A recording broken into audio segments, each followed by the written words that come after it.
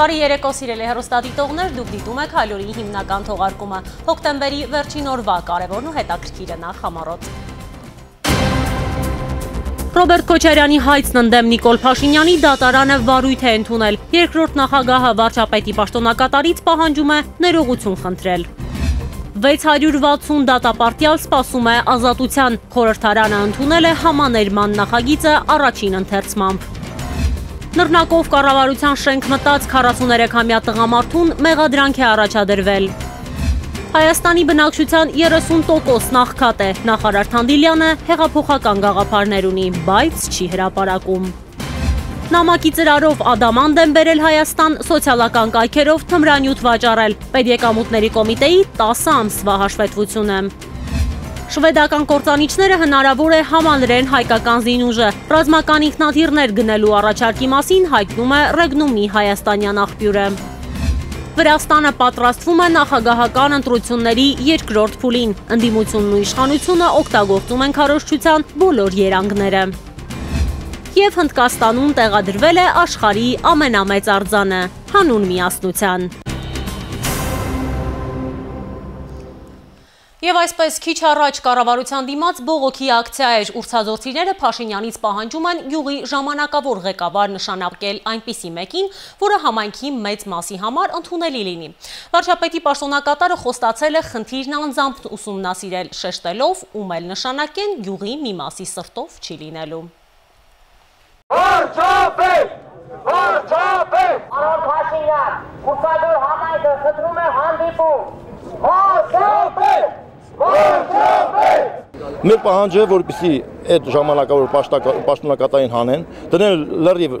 լոյալ չեզոք մարդու, որպեսի գյուղում այդ լարվածությունը վերանա։ Մեզ անտեսում են։ Ահագին ժամանակ 10 օրից ավել խապում են մեզ։ Կառավարության դիմաց երեկոն անհանգիստ է, ուրցաձորից են եկել։ Գյուղացիներն ասում են 19 տարի համայնքը ղեկավարած Ռաֆիկ Անդրեասյանը իրենց ու իշխանության հորդորով է հրաժարական տվել, բայց նոր նշանակվածն էլ իրենց սրտով չէ։ Ինչպես ուրցաձորում են ասում, հնին մերժել, բայց նորի հետ էլ լեզու չեն գտնում։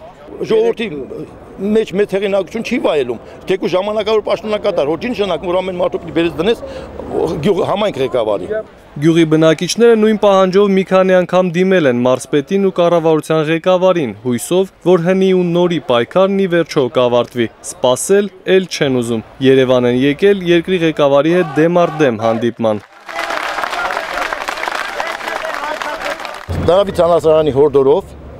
որպեսի գյուղում ավելորդ լարվածություն չլինի, մեր համայնքապետը հրաժարական տվեց, ասեց ես խնդրեմ չունեմ։ Հայաստանի փորձ ցույց է տալիս, որ ում ուզում ես նշանակի, կլինեն մարդիկ, որ կողմ են, կլինեն մարդիկ, որ դեմ են։ Վարչապետի պաշտոնակատարը կոնկրետ լուծում չի առաջարկում, փոխարենը խոստանում է հարցով անձամբ զբաղվել ու մի քիչ էլ համբերել։ Ես հիմա չեմ կարող ասել այո կամ ոչ, որովհետև ասում եմ, այդ պատճառով, որովհետև կարողա parzvi հաջորդ որոշմանը եւս մեր հարգելի քաղաքացիներ parzvi համաձայն չեն։ Հայկ Նավասարդյան, Նորայր Շարբաթյան, Հայլուր Շարունակենք, ազգային ժողովը միաձայն կողմ քվյարկեց ու առաջին ընթերցմամբ ընդունեց համաներման նախագիծը։ Այն 24 ժամվա ընթացքում երկրորդ ընթերցման կգնա։ 660 դատապարտյալի ազատություն տվող փաստաթուղթը արտահերթում բաց են քննարկել, փորձել հասկանալ, թե ինչով է այն աննախադեպ։ Նիստին հետևել է նաև իմ գործընկեր Կարինե Մանգասարյանը։ Կառավարության նախաձեռնությամբ խորհրդարանում ընթանում է արտահերտ նիստ, օրակարգում մեկ հարց է համաներման նախագիծը։ Եթե նախորդին պետայրավական հարցերի հանձնաժողովում նախագիծը քննարկվել է փակ դռների հետևում, այսօր դռները բաց են։ Նախագիծը ներկայացրեց արտարդատության նախարարի պաշտոնակատար Արտակ Զեյնալյանը։ Նախ նախարարի պաշտոնակատարը վիճակագրական տվյալներ ներկայացրեց քրեակատարողական հիմնարկներում պահվող անձանց մասին, նշելով, որ համաներումը չի իրականացվում քրեակատարողական հիմնարկները բեռնաթափելու համար։ Համաներման Հիմնական նախագիծը 6500 շահառու ունի։ Հայաստանի քրեակատարողական հիմնարկներում 2880 դատապարտյալ կա։ Նուբարաշենում 780 տեղից զբաղված է 644-ը։ Վարդաշենում 155 անձ է պահվում, միջդեռ նախատեսված է 340 մարդու համար։ Համատական տեղեկանք. 2009, 11, 13 եւ 18 թվականների համաներումների ակտերի վերաբերյալ ըստ կետերի եւ որևէ մի նախկինում իրականացված համաներում չի համեմատվում այս համաներման ծավալների հետ։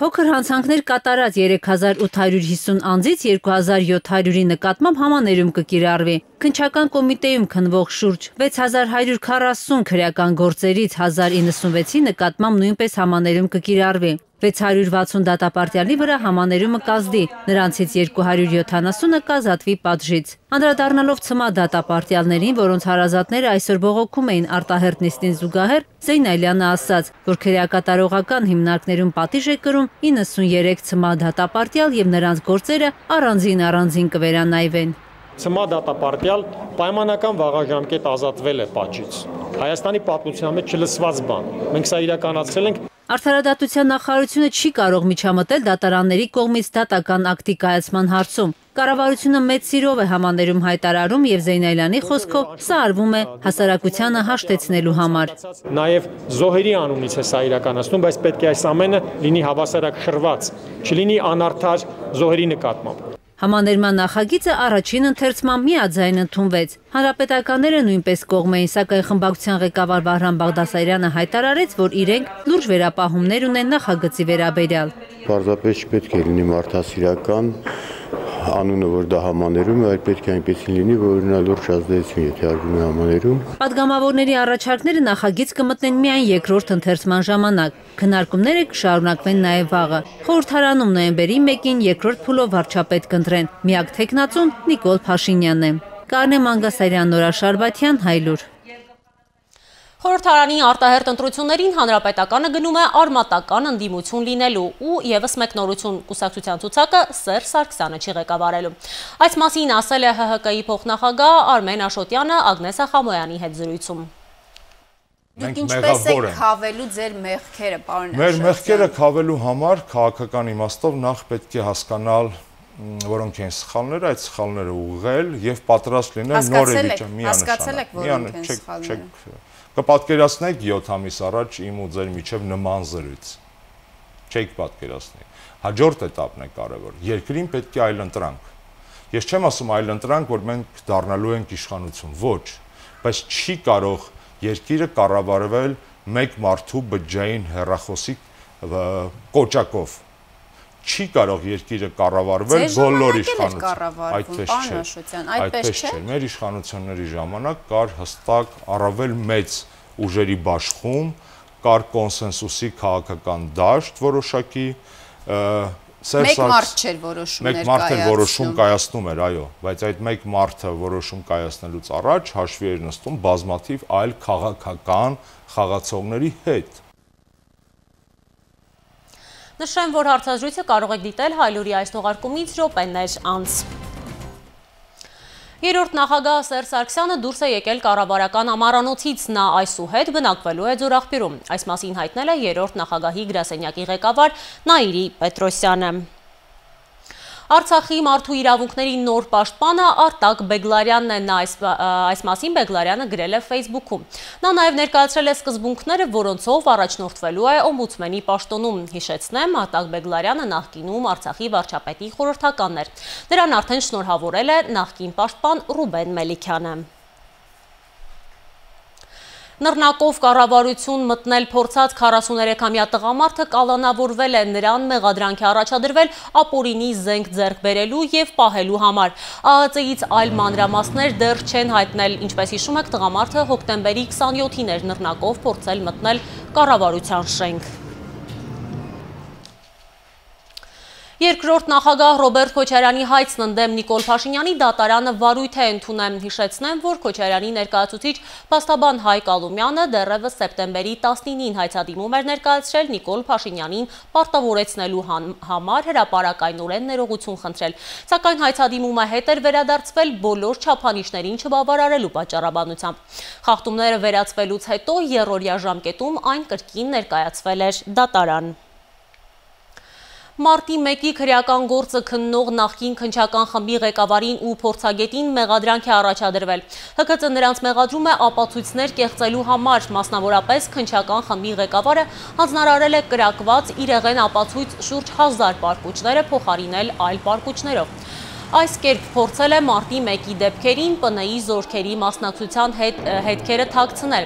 Այսպես նախաքննության ժամանակ ներգրաված ՊՆ պարկուճները փոխարինվել են Արարատի մարզի Գետազատ գյուղում ազատ տարածության վրա ոստիկանության զորքերի մոտ եղած զենքից կրակված պարկուճներով։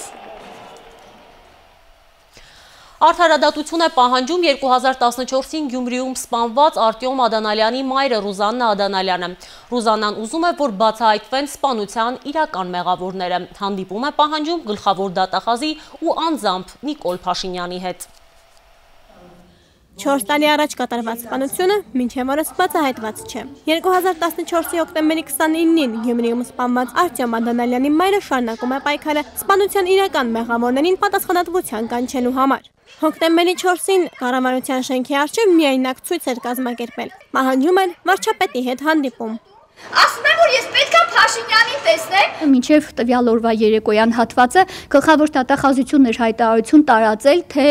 Ռուզանա Դանալյանի կողմից արված հայտարարությունները զուտ նրա սուբյեկտիվ կարծիքներն են, իր պատկերացումներն են։ Ամբաստանյալի կարգավիճակում է միայն մեկ անձ Ռուզաննա Ադանալյանը պնդում է, բանությունը խմբակային է եղել։ Կազմակերպելու մեջ Լուսինե Գինոսյանին է մեղադրում, որը նախկինում Շիրակի մարզպետարանի կանանց ընտանիքի եւ երեխաների իրավունքների պաշտպանության բաժնի պետ էր։ Ֆինանսական վեճ են ունեցել ստացել, որից մի ամիս հետո որդին սպանվել է։ Նա մինչև օրս չի հարցակնվել։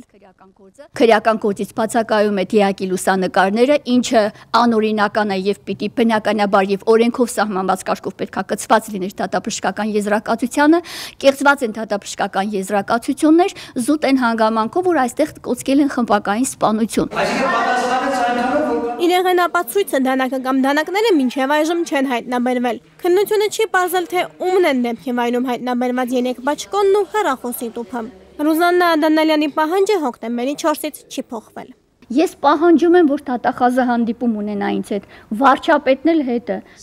Գործը վերաքննիչ քրեական դատարանում է։ Մորթեկորույս մայրը հանցագործ է համարում բոլոր նրանց, ովքեր չեն օգնում իրեն բացահայտել գործը։ Անահիտ Հովանեսյան, Հենրիկ Սարգսյան, Հայլուր։ Շարունակենք Երևանի թիվ 1 տուն ինտերնատի տնորերին աշխատանքից ազատելու համար հիմնավոր փաստեր են եղել ասել է աշխատանքի եւ սոցիալական հարցերի նախարարի պաշտոնակատարը արձագանքելով Վահան Զուրաբյանի այն հայտարարությանը, թե իրեն աշխատանքից հանելու համար դատի է տալու Մանեթ Հանդիլյանին։ Թանդիլյանը վստահ է, որ դատարանը ճիշտ որոշում կկայացնի, ինչպես հիշում եք, Վահան Զուրաբյանը նախարարի հրամանով տուն ինտերնատի տնորենի պաշտոնից ազատվել էր հոկտեմբերի 5-ին։ Ուրախ եմ, որ ամեն ոք կարող է այսօր մեր երկրում օգտվել իր իրավունքից դատական հայցով դատարան դիմելու եւ ես վստահ եմ, որ դատարանը կկայացնի իրավաչափ որոշում, չեմ էլ կասկածում, բայց միևնույն ժամանակ մենք պետք է կարողանանք առաջ շարժվել։ Հայաստանի քաղաքացու մարմնի մեջ 52 գրամ ափիոն տեսակի թմրանյութ են գտել։ Սա պեկի վերջին բացահայտումն է։ Իդեպ մաքսանենգության դեմ պայքարի վարչությունից տեղեկացնում են արդեն հարուցված 70 քրեական գործ կա։ 2018-ի 10 ամիսներին սահմանին բացահայտվել է մաքսանենգության 126 դեպք, 70 քրեական գործ է հարուցվել։ Պեկ Պաշտոնյայի խոսքով ավելացել են փոստով մաքսանենգության դեպքերը։ Փոստային առաքաներում հայտնաբերել ենք ավելի քան 22 կիլոգրամ դեղորայք, որոնցից 3000 դեղահաբը թմրանյութի եւ հոգեբետ նյութի պարունակությամբ։ Մյուս ուշագրավ դեպքը սոցիալական կայքերով թմրանյութերի վաճառքի իրականացումն էր, որի արդյունքում հայտնաբերվել էր մոտ 600 գրամ հաշիշ։ Նամակի ծրարով փորձել են Հայաստան ներմուծել ադամանտներ, արկղերով զենք, զինամթերք։ Զենքերը փաթեթավորել էին այնպիսի նյութերով, որը սկան ապարատը չէ, որ անցնում է մեջով, ցույց չէր տալիս Որոշակի կասկածը առաջացել, ես հրահանգել եմ բացել առաքանիները եւ բացահայտվել է դեպքը։ Մաքսանենգության կատարելագործմանը զուգահեռ կատարելագործվում է Մերոնց զինանոցը։ Մեղրին շարունակում է մնալ ամենաթիրախային մաքսակետը թմրամիջոցներ փոխադրողների համար։ Չկա Իրանի Իսլամական Հանրապետության մեր գործընկերների հետ գործնական շփման եզրեր, բայց ես մտածել եմ այդ ուղղությամբ, այժմ էլ աշխատանքներ են տարվում, որպիսի համագործակցության եզրեր գտնվեն եւ ընդհանուր ուժերով կարողանանք կանխել Մեղրիի անցակետում մաքսանենգության վերջին դեպքը 3 է բացահայտվել։ Հայաստանի քաղաքացու մարմնի միջից հայտնաբերվել է 52 գրամ ափիոն տեսակի թմրանյութ։ Քաղաքացին ձերբակալվել է։ Թե ինչ խնդիրներ ունի բիզնեսը Գյումրիում, եկել են հասկանալու բիզնես նոր Հայաստան ծրագրի անդամները։ Գործարարների խնդիրները կփոխանցեն կառավարությանը, կսպասեն պատասխանի։ Իդեպ ըստ Doing Business-ի նոր զեկույցի մեր երկիրը գործարարությամբ զբաղվելու հեշտությամբ առաջադիմել է 6 հորիզոնականով։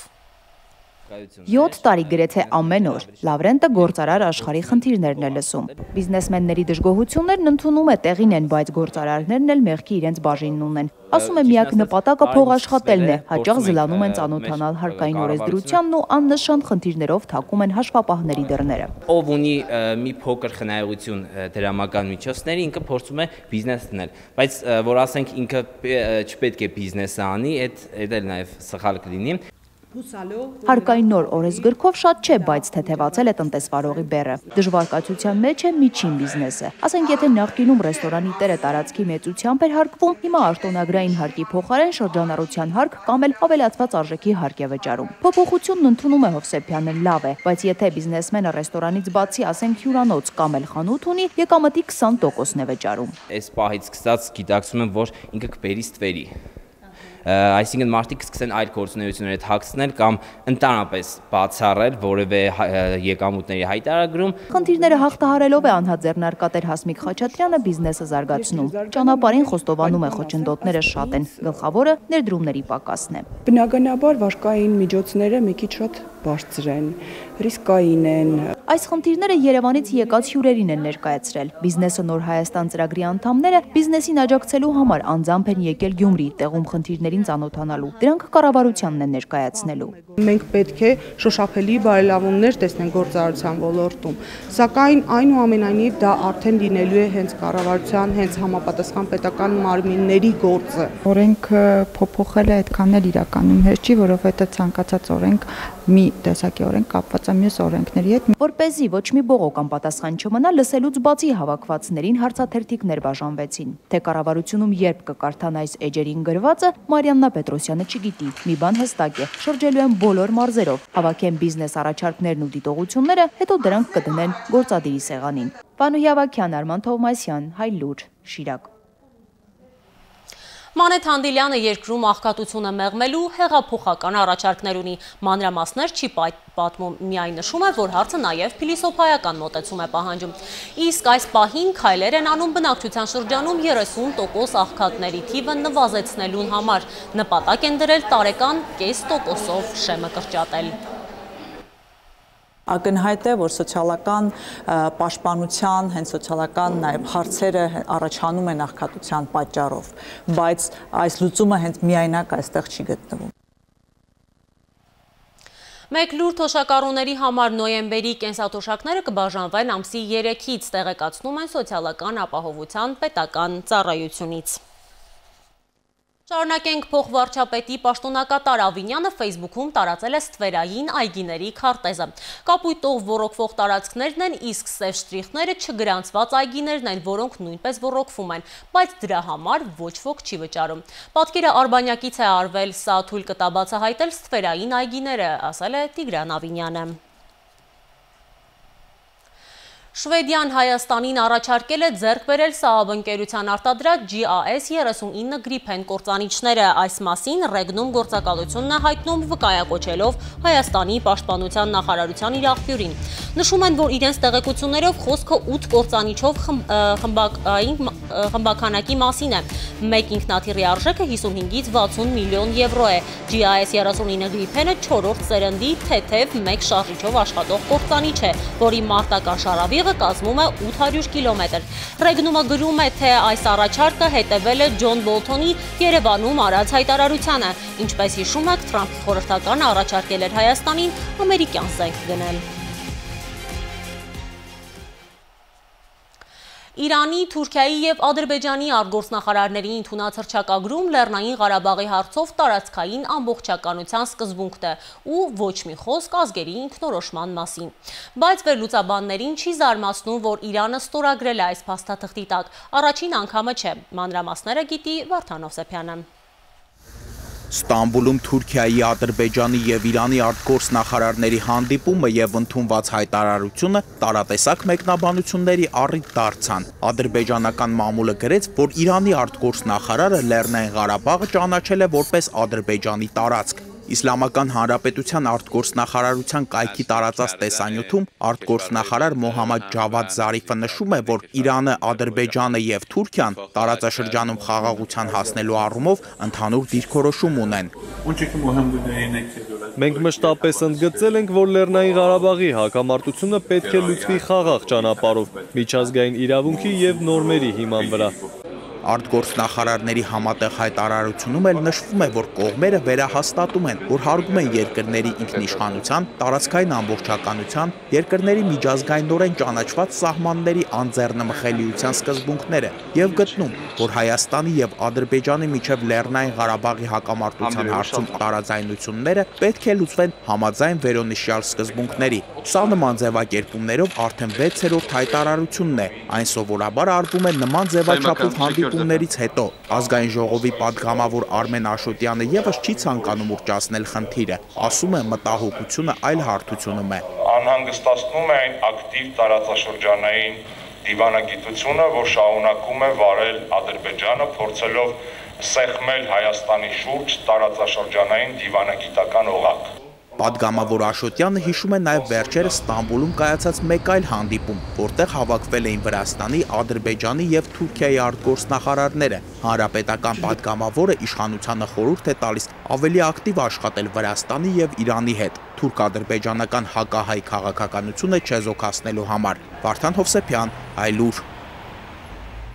Շարունակենք Աֆղանստանի Ֆարահ նահանգում ուղաթի ռեկորդ ծանվել զոհվել է 25 մարդ, մեծ մասը բարձրաստիճան զինվորականներ եւ տեղի խորհրդի падգամավորներն ու ղեկավարը։ Միջադեպի պատասխանատվությունը ստանձնել է Թալիբան շարժումը։ Թալիբները հայտարարել են, որ ուղաթիրը խփվել է իրենց զինյալների կողմից։ Հնդկաստանում բացվել է աշխարհի ամենաբարձր արձանը մետաղի եւ բետոնի համաձուլվածքից ստեղծված կոթողը նվիրված է Մահատմա Գանդիի հետևորդներից Վալաբիահ Պատելին, որին ժամանակին հաջողվել է միավորել Հնդկաստանի մի քանի երկրամասեր։ Արձանի բարձրությունը 182 մետր է, ինչը մոտ 2 անգամ բարձր է ամերիկյան ազատության արձանից։ Հարևան Վրաստանը, որն առաջին փուլով չկարողացավ նախագահ ընտրել դեկտեմբերի սկիզբ, պատրաստվում է երկրորդին։ Իշխանության վրացական երազանքը Սալոմե Զուրաբիշվիլին է։ Ընդդիմության տեխնացու Գրիգոլ Վաշաձեն Սաակաշվիլիի ճամբարից է։ Իդեպ Սաակաշվիլիի վերադարձի դեպքում վելուծաբանները քաղաքական պատերազմ են, քաղաքացիական պատերազմ են կանխատեսում։ Վրաստանում նախագահական ընտրությունների երկրորդ փուլից մեկ ամիս առաջ կրքերն ավելի են թեժանում։ Նախկին նախագահ Միխեիլ Սաակաշվիլիի աջակցությունը վայելող տեխնացու Գրիգոր Վաշաձեի երկրորդ փուլ դուրս գալը խոճապ է ստեղծել իշխող վրացական երազանքի ճամբարում։ Իշխանությունը վստահ է, եթե Վաշաձեին հաջողվի հաղթանակ տանել նախագահական ընտրություններում, ընդդիմադիր տեխնացուն օրենքով սահմանված կարգով կարող են ներում շնորհել հետախուզման մեջ գտնվող Սաակաշվիլիին։ Այս լուրերը շտապեց հերքել հենց Վրաստանի նախկին նախագահը։ Ոնց որ ինձ ինչ որ մեկի հետ շփոթում են, ես որևէ հանցանք չեմ կատարել, որ մի բան էլ ներում խնդրեմ։ Պատրաստվում եմ իրավունքներս դատարանի միջոցով պաշտպանել։ Իշխանությունը նաև ակտիվ տեղեկություններ է տարածում։ Եթե ամեն դեպքում Վաշաձեն նախագահ ընտրվի, երկիր կվերադառնա Սաակաշվիլին եւ Վրաստանը կհայտնվի քաղաքացիական պատերազմի շեմին։ Այս տեղեկություններն էլ հերքեց Գրիգոր Վաշաձեն։ Ոչ մի քաղաքացիական պատերազմ, քաղաքական ընդդիմախոսների ոչ մի հետապնդում կամ ճնշում չի լինելու։ Երկիրն է պետք փրկել, երկիրը։ Սաակաշվիլիի վերադարձի հակառակորդները եւս ամբողջ թափով գործի են անցել։ Վրաստանում վարկանիշով երկրորդ հերոստանգերությունից Իմեդիից հայտարարել են, որ իրենք փոխում են եթերային ցանցը եւ մինչեւ ընտրությունները աշխատելու են արտակարգ ռեժիմով։ Իրենց խոսքով նախկին ռեժիմի վերադարձը բացառելու համար։ Վարդան Հովսեփյան, Այլուր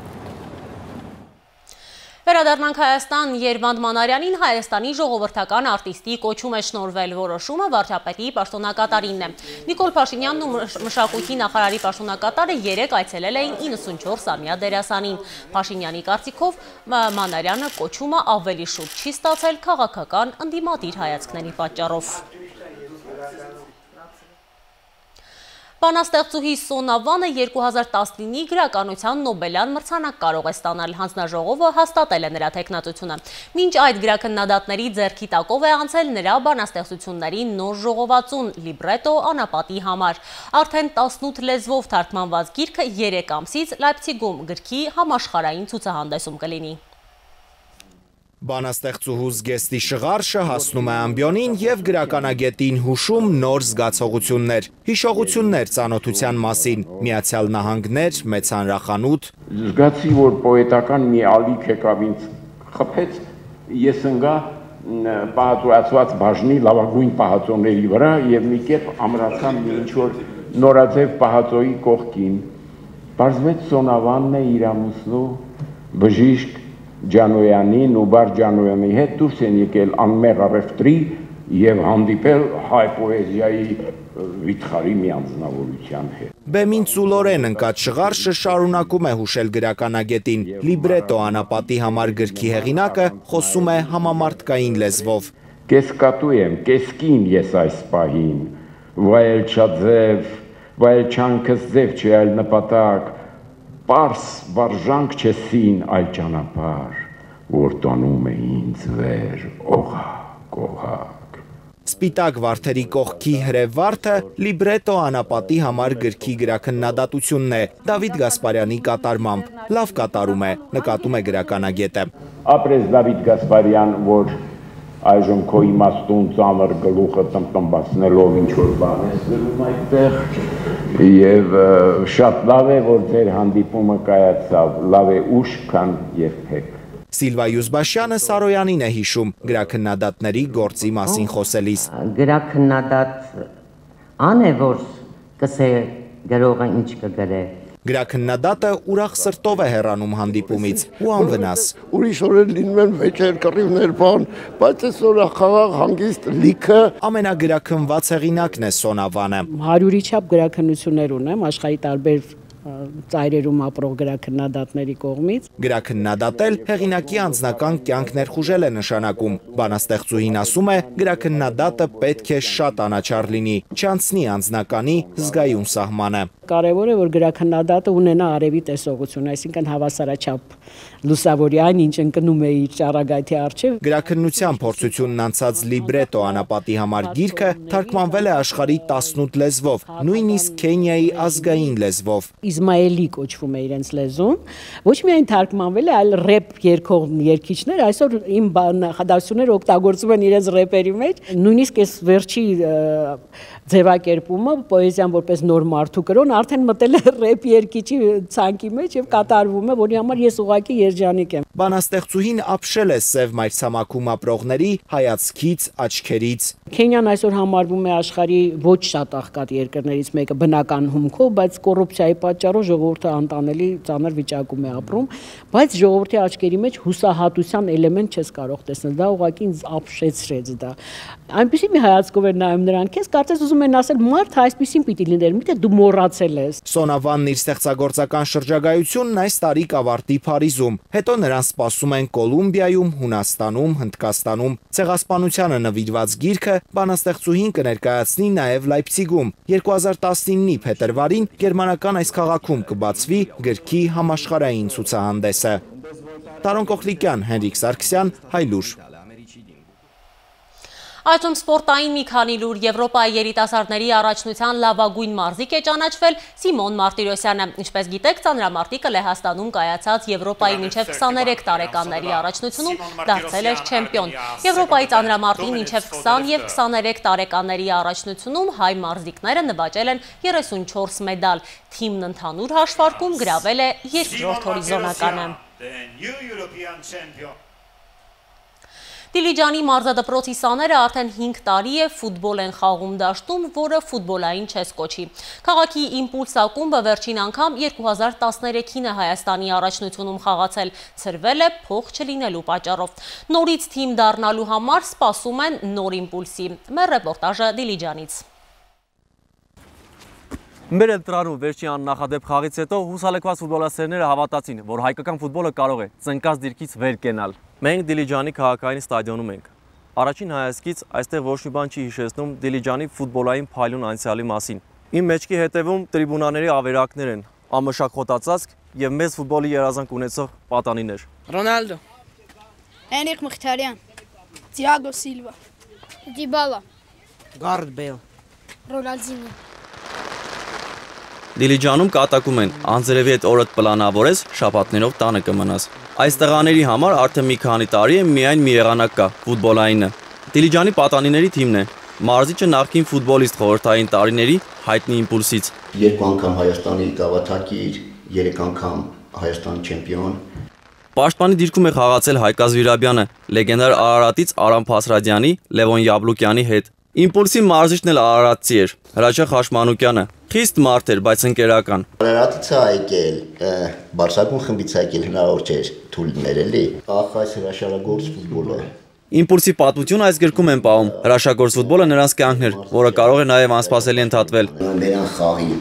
պատրաստվելով նոյեմբերյանի հանդերսանը թիմի կազմը ասելուս թիմի բակ ստացա,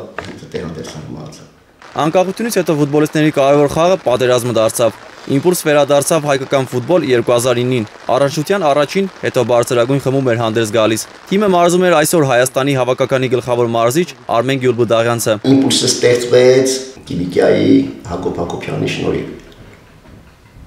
Նու համենայն դեպս ես դժգոհ չեմ, երեխեքին պահելա 4-5 տարի, ասենք սննդի, տրանսպորտի, ծախսեր ամեն ինչը հոգացել է Իմպուլսի խաղը Հայաստանի առաջնությունում ավարտվեց 2013-ին։ Ֆուտբոլը Դիլիջանում շարունակվում է, քանդված տրիբունաների ֆոնին, դեղնած խոտածածկի վրա, անձրևի տակ։ Քաղաքի վրա է, բյուջեի վրա է, այնքան թույլ է։ Մեր երեխեքն են, մեծ մասը ծնողները, օգնեմ, ամեն ինչ օգնեմ։ Ղեկավարություն շատ քիչ։ Շատ բարի ու կատակասեր մարզիչ է,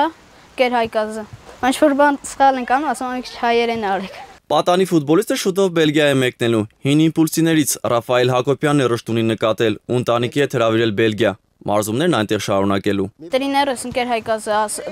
իրան իրանից հետաքրքրվեցին, ասաց որ ուզում ենք ստանեն Բելգիա։ Փոքրիկ քաղաքի մեծ հերոսը կարող է դառնալ 13-ամյա ռշտունը։ Նրա ֆուտբոլային կարիերան սկսում է ինչպես Պելեին ու Մարադոնայինը, ինչպես Հենրիխ Մխիթարյանինը։ Դիլիջանում խաղը պետք է շարունակվի։ Եղանակի մասին այսօրվանից մինչև նոյեմբերի 4-ը հանրապետությունում հիմնականում տեղումներ չեն լինի։ Սպասվում է մեղմ քամի այս գիշեր Երևանում ջերմաստիճանը 10-ից 12, իսկ վաղը ցերեկը 14-ից 16 աստիճան է լինելու։ Ի տարբերություն Հայաստանի Վենետիկում հորդառատ անձրևներ են քաղաքի 75%-ը ջրի տակ է, բայց սա պատճառ չէ, որ ճաշի ժամը հետաձգեն։ Տեղի ռեստորաններից մեկի մատուցողները երկարաճիտ ռեզինե կոշիկներով պիցա են մատակարարում տուրիստերին ու տեղացիներին։ Այցելուներին չի անհանգստացնում, որ ռեստորանը ջրի մեջ է։ Che bravo, guarda, è notato.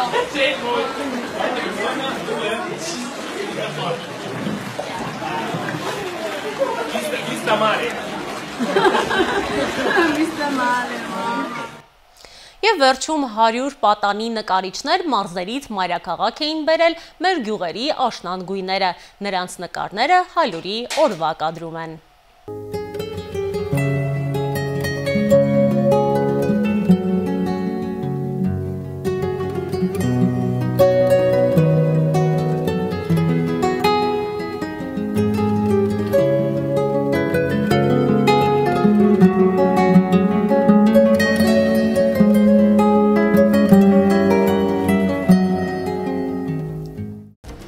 Վարկյաններ անց լույսի տակ կլինի հովի կաֆյանը, իսկ ես ձեզ հրաժեշտ եմ տալիս ցտեսություն։